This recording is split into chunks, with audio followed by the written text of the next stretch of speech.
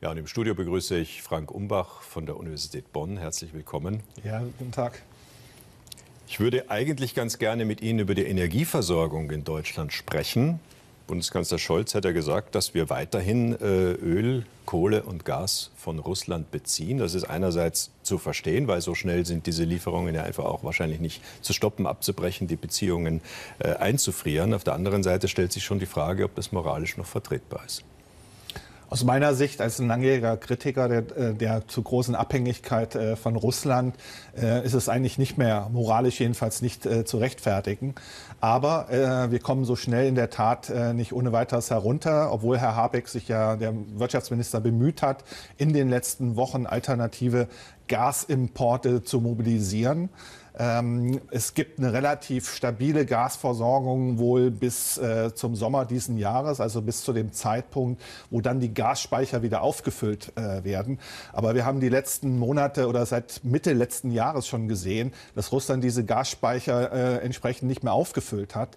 Und das hat dazu geführt, dass wir am Ende abhängig waren von dem Wetter in Asien, weil nur durch den milden Winter haben wir im Dezember die Möglichkeit gehabt, äh, dass ursprüngliche LNG-Exporte nach Asien und anderswohin umgeleitet werden konnten Richtung Europa. Und das zeigt das ganze Dilemma, äh, dass es uns eben nicht gelungen ist, äh, trotz langwieriger Debatten und klaren strategischen Zielvorgaben der EU in 2010, nämlich diese Importabhängigkeit von Russland zu reduzieren, dass sich umgesetzt haben. Und gerade wir in Deutschland haben diese Abhängigkeit, die Gasimportabhängigkeit von Russland selbst nach der Krim-Annexion 2014 noch weiter erhöht. Aus welchen Ländern neben Russland könnte Deutschland denn zum Beispiel Gas beziehen, wenn es nicht mehr aus Russland sein darf oder soll? Also sowohl die Bundesregierung wie die Europäische Kommission wie auch der amerikanische Präsident haben sich in den letzten Wochen darum bemüht, bei allen Gaslieferanten der Welt entsprechend Ersatz äh, zu bekommen. Es ist aber so, äh, dass wir ohnehin einen sogenannten Verkäufermarkt haben. Und der Verkäufermarkt, anders als in der Vergangenheit äh, ein Käufermarkt, spiegelt äh, sozusagen die Engpässe auf den globalen Gasmärkten wider. Das heißt, kurzfristig gibt es kaum Alternativen. Man kann LNG aufkaufen, das ursprünglich für andere Kunden vorgesehen ist. Das funktioniert aber in erster Linie nur bei den sogenannten Spotmarktverträgen. Ähm, das kann umgeleitet werden. Äh, daraus resultiert aber ein größerer Bieterwettstreit, sodass es sehr, sehr teuer ist. Und bei den großen Verträgen, die wir in Asien meistens haben, sind das Langfristverträge. Und da bedarf es einer sogenannten flexiblen Destination-Klausel, dass also diese Gasverträge gemäß Vertrag überhaupt umgeleitet werden können, solange wie im Falle Japans die eigene Energiesicherheit nicht äh, gefährdet ist.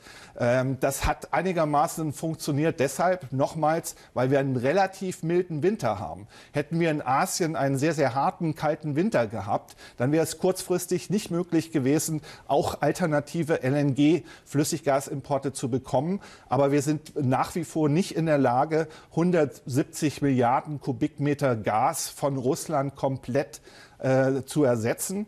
Ähm, wir sind aber vielleicht durchaus in der Lage, die Hälfte dieses Gases zu ersetzen. Und das wäre durchaus eine Option, denn wir müssen uns darüber klar sein, jeder Euro, den wir für fossile Energie Träger äh, aus Russland bezahlen, ist am Ende Blutgeld. Ähm, finanziert das Putin-Regime und finanziert auch diesen Krieg. Als weiteres Land für Rohölbezug wird ja plötzlich auch der Iran genannt. Ist das denn realistisch? Wäre es möglich? Könnte es sein, dass der Iran dadurch in eine völlig neue Position rückt, in ein neues Licht rückt und vielleicht auch möglicherweise diese Iran-Gespräche dadurch befördert werden, indem der Iran jetzt plötzlich Öl nach Europa liefert? Also wenn die nuklearen Gespräche über die Abschaffung ja auch der Atomwaffen beziehungsweise dass ähm, der Iran nicht in eine Atomwaffenentwicklung hineingeht, Dafür war immer angeboten worden, dass der Iran natürlich dann mit weniger Sanktionen seine Öl- und auch Gasexporte ausbauen kann. Aber kurzfristig wird das kaum möglich sein. Mittellangfristig müssen wir uns strategisch auch da fragen, ist das sinnvoll, uns dann auch von dem Iran abhängig zu machen? Denn äh, dort haben wir ja auch ein hochautoritäres ähm, Regime an der Macht, ähm, das weder die äh, Israel akzeptiert, noch wirklich äh, die westlichen Demokratien in Europa. Herr Umbach, vielen Dank bis hierher. Wir sprechen gleich weiter.